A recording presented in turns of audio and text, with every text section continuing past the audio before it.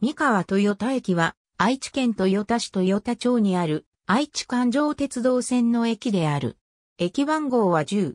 トヨタ自動車本社に最も近い駅で朝のラッシュ時は同社の通勤客で混雑する。当駅開業以前の1937年、名鉄衣線に同名の駅が存在していた。当時はまだ衣町であり、市政を経て自治体名が豊田市に解消されるのは、その22年後の1959年のことである。島式一面2000ホームの高架駅である。用地は2面4000分確保されている。2019年6月15日にホームが延長され、上下列車の停車位置をずらすことで混雑緩和を図っている。以前は早朝と深夜に無人となる時間が存在していたが、利用者の増加に伴い現在は駅員が終日配置されている。改札口は開業時から使用されている場所のほか、トヨタ自動車本社への通勤需要に対応し2005年度冬より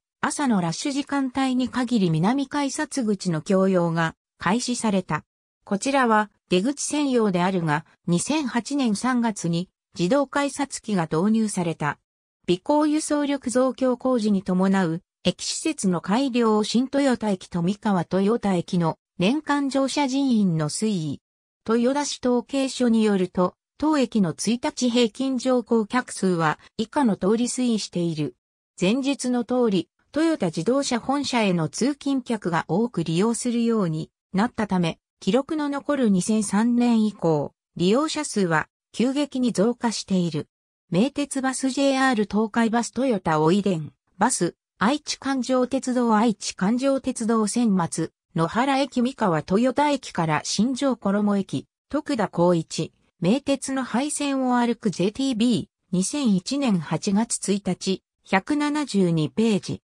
ISBN 4から533039235昭和以降、ハット AB 企業情報遠隔愛知環状鉄道 ABCD 愛知環状鉄道の30年年表愛知環状鉄道株式会社2019年愛知環状鉄道の30年配線略図愛知環状鉄道株式会社2019年とか乗車券のサービス開始日について愛知環状鉄道オリジナルの2019年6月2日時点におけるアーカイブ。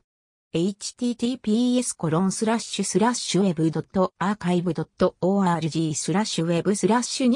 20190602072328スラッシュ http コロンスラッシュスラッシュ www.aikanrailway.co.jp スラッシュ pdf スラッシュ pressrelese300128 PDF2020 年11月8日閲覧。愛知県議会定例会、2019年6月20日、愛知環状鉄道20年史編纂委員会、愛知環状鉄道20年史、PP111 から112、2008年。ありがとうございます。